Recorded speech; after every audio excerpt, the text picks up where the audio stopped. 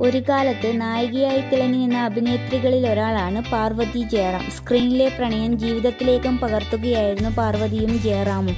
വിവാഹശേഷം നിരവധി അവസരങ്ങൾ ലഭിച്ചിരുന്നുവെങ്കിലും ഇടവേളകളിലേക്ക് പോവുകയായിരുന്നു താരം.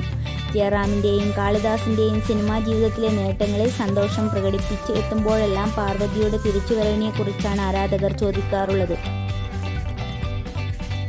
സെലിബ്രിറ്റി ജോഡികളായ സമ്പന്നമാണ് മലയാള സിനിമ. പലർക്കും അവർ സ്ക്രീനിൽ അവതരിപ്പിച്ച കഥാപാത്രങ്ങൾക്ക് സമാനമായ പ്രണയ കഥകളുമുണ്ട്.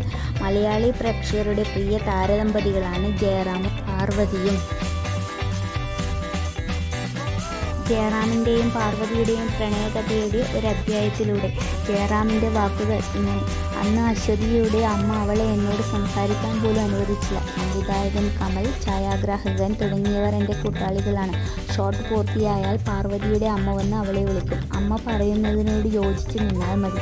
ആദ്യം മീറ്റിങ്ങിൽ അവളുടെ മുന്നിൽ കൈകൾ മടക്കി ഒരു മണിക്കൂറെങ്കിലും നിന്നാൽ മതി. എന്ന് പറഞ്ഞ് എന്റെ മക്കൾ എന്നെ കളിയാക്കുന്നു. ഇത് സത്യമാണ്. അവരെന്റെ ഷൂട്ടിങ്ങിനിടെയായിരുന്നു അത്. എന്നെ കാണാൻ ആരോ കാത്തിരിക്കുന്നുണ്ടെന്ന് സുകുമാരി ചേച്ചി പറഞ്ഞു.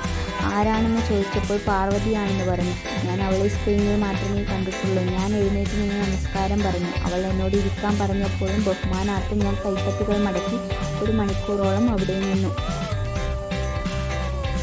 ആയിരത്തി തൊള്ളായിരത്തി തൊണ്ണൂറ്റി രണ്ടിലാണ് ജയറാമും പാർവതിയും വിവാഹിതരായത്. അപരൻ പെരുവണ്ണാപുരത്തെ വിശേഷങ്ങൾ ശുഭയാത്ര കല്യാണ മന്ത്രം പാവക്കൂത്ത് കുറുപ്പിന്റെ കണക്ക് പുസ്തകം എന്നീ ചിത്രങ്ങളിൽ ഇരുവരും ഒന്നിച്ച് അഭിനയിച്ചിട്ടുണ്ട്. വിവാഹശേഷം പാർവതി അഭിനയത്തോട് വിട പറഞ്ഞു ജയറാമിനും പാർവതിക്കും രണ്ട് മക്കളാണുള്ളത്. കാളിദാസ് ജയറാമും മാളവിക ജയറാമും.